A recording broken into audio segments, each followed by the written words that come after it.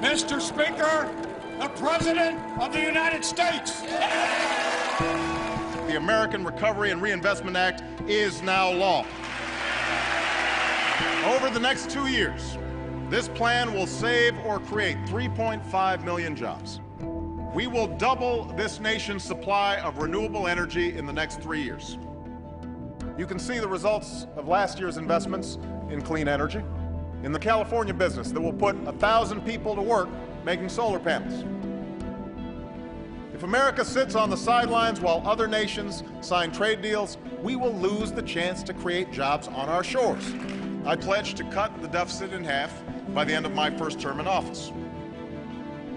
In the coming year, we'll also work to rebuild people's faith in the institution of government.